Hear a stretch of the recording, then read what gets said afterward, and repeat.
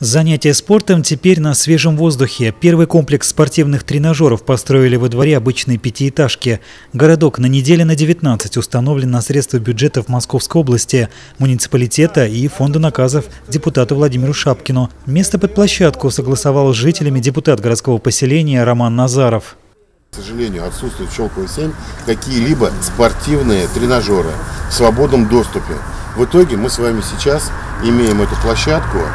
Городок, состоящий из комплекса турников и девяти тренажеров на разные группы мышц, рассчитан на использование людьми разного возраста.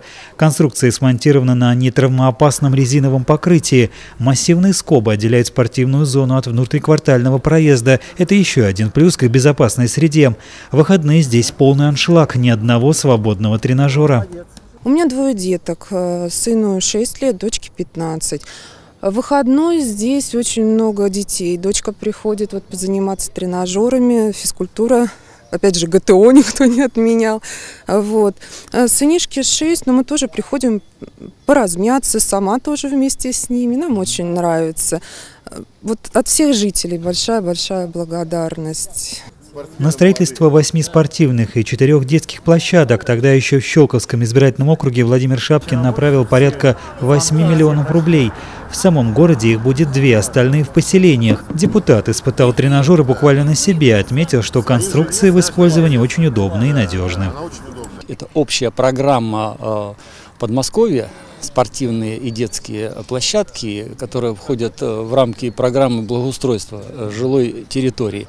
Я из своего депутатского фонда на 2016 год принял решение направить определенную сумму денежных средств на эту программу. И по округу, тогда еще 24-й Щелковский округ, было направлено денежных э, средств порядка 8 миллионов на э, строительство вот таких э, восьми площадок спортивных по округу и э, четырех детских площадок. На этом программа комплексного благоустройства не заканчивается, с оптимизмом сказал Шапкин. В региональный бюджет депутаты начинают вносить предложения по программам, в том числе и по благоустройству жилой территории. Решение по софинансированию работ принимается с учетом мнения председателей многоквартирных домов.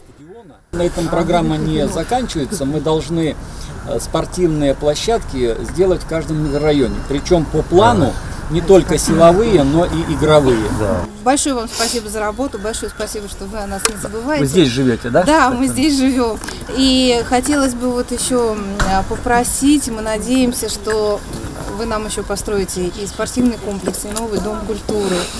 Строительство Дома культуры Щелково-7 запланировано с привлечением средств области. В следующем году депутат обещал постараться изыскать средства на его проектирование. Михаил Налетов, Михаил Черепанов, телерадиокомпания «Щелково».